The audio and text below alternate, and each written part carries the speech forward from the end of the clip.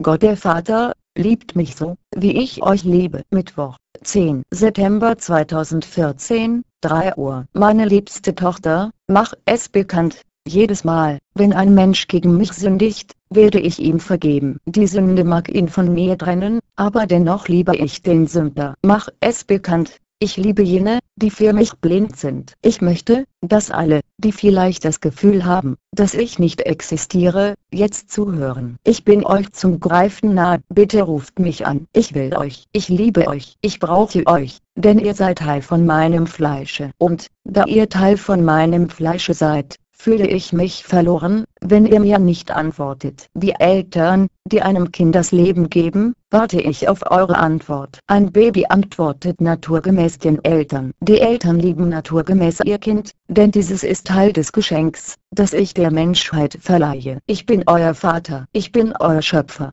Ich bin, der ich bin. Wisst ihr nicht, dass ich euch alle mit einer Sehnsucht liebe, die nur diejenigen von euch kennen, die Eltern geworden sind? Ich weine Tränen großen Kummers, wenn ihr nicht wisst, wer ich bin. Mein Herz ist schwer, wo ich jetzt nach euch rufe. Liebt mich so, wie ich euch liebe. Euer ewiger Vater, Gott der Allerhöchste.